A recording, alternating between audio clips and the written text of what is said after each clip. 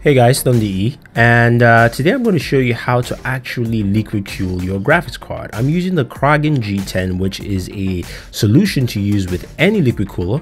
In this case, I'm using the Kraken X41 to actually liquid cool your GPU. Um, it's a very simple process, just a few steps. Now, the G10 retails for uh, about $28 on Amazon. We'll have the link for you below. You can use your old uh, liquid cooler or as or the Kraken X41, which is uh, 109.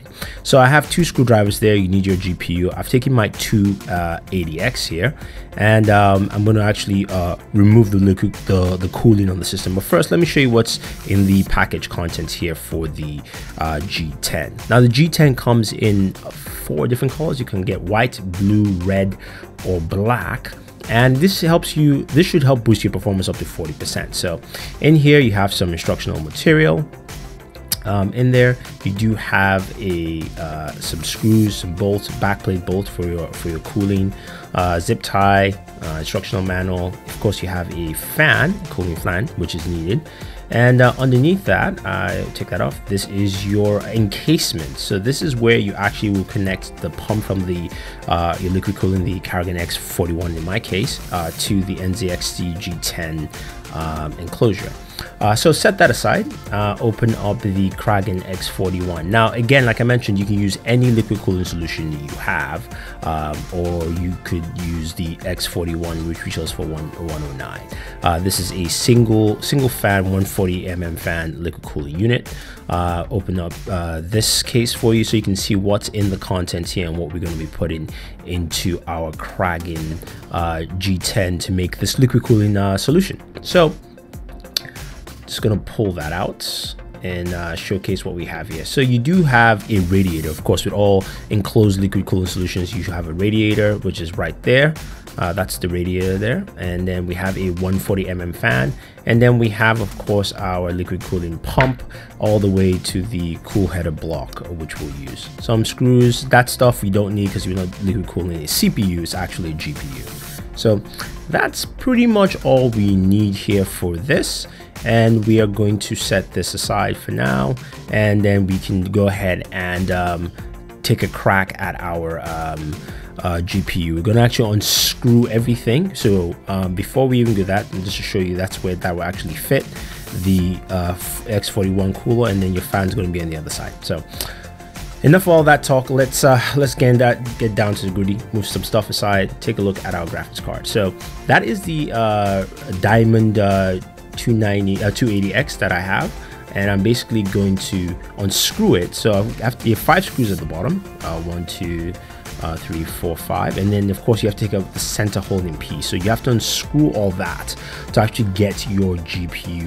um, off, the cooling of your GPU off. So that's the first thing you need to do. So moving closer, take a look at that. You're going to take off all the screws there, and uh, you can see it's a, it's a very simple process. It's nothing too strenuous. Once you take all that out, uh, you can separate the cooling from um, this, and you can see that and pop it up make sure you unplug uh, the cooling fan and that is your GPU center. Now the next thing you need to do is the backplate piece.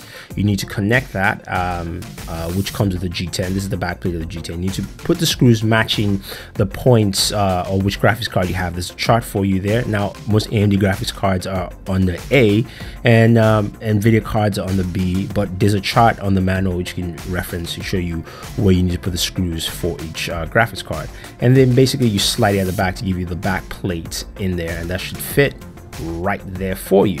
So you can now place your liquid cooling on top, but it's a very simple process. Just make sure we pop that in correctly and boom, there you have it. So the next thing you need to do is make sure you screw the fan on. Now the fan has been screwed on already, but basically uh, making sure that the NZXT logo is facing you as you put down the faceplate. So you make sure that's screwed in tight and uh, in place on the larger uh, circular cutout and then you slide in your um, your CPU cooler, you basically have to slide it in and rotate it till it actually locks into the hook. Once everything is placed in together, you want to lay down your G10 with the cooling onto the your graphics card board and screw it down. There's some cushions provided you can put at the very end uh, side of the fan to actually just balance everything properly if you need to. And you're going to screw it in and you should be good to go. It's a very simple process. Uh, shouldn't take you too long to actually do this. I'm speeding up the video just because I was kind of slow here. But uh, you get the idea. Once you generally uh, fitted and screwed all the screws in together, your GPU is locked into place. Now the fan connectors you connect to your board, but make sure you twist tie everything so you can have a clean look. Now, of course, don't mind my board, my whole setup here. This is my test PC, so everything's a hot mess in terms of wires. So I apologize, but this is how it would look in your system.